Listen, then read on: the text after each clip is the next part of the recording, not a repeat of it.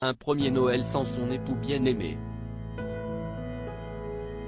En avril dernier, le prince Philippe s'éteignait à l'âge de 99 ans, laissant derrière lui une famille royale éplorée, et surtout, Elisabeth II, son épouse.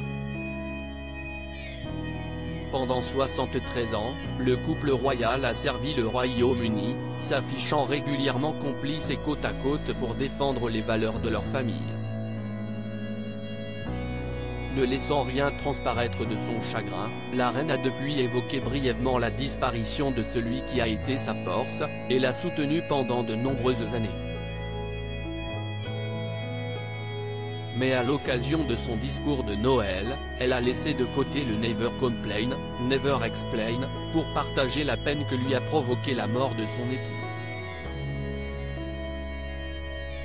Bien que ce soit pour beaucoup de gens une période de grand bonheur et de gaieté, Noël peut être difficile pour ceux qui ont perdu des êtres chers.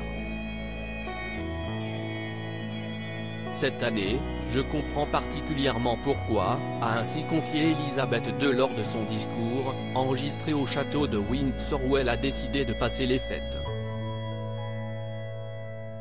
Vêtue d'une robe rouge, la reine avait lors de son discours choisi de mettre en avant une photo d'elle et du prince Philippe prise lors de leur 60e anniversaire de mariage, arborant même sur la poitrine, une broche chrysanthème en saphir qu'elle portait lors de sa lune de miel au manoir de Birkal. Le rire familier du prince Philippe manque à Elisabeth II. La monarque de 95 ans a également assuré avoir tiré un grand réconfort des nombreux hommages qu'elle a reçus depuis le décès du duc d'Édimbourg en avril dernier. Évoquant avec tendresse le prince Philippe, elle cite son sens du devoir, sa curiosité intellectuelle et sa capacité à s'amuser de toute situation.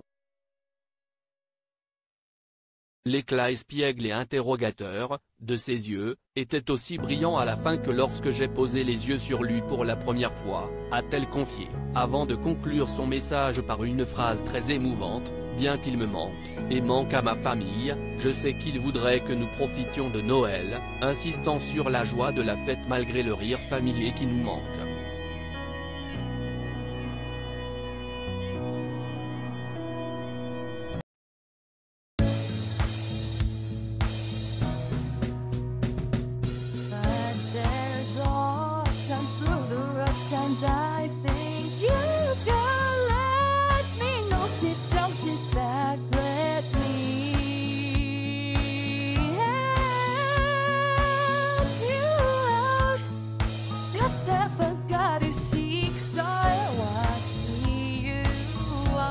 on your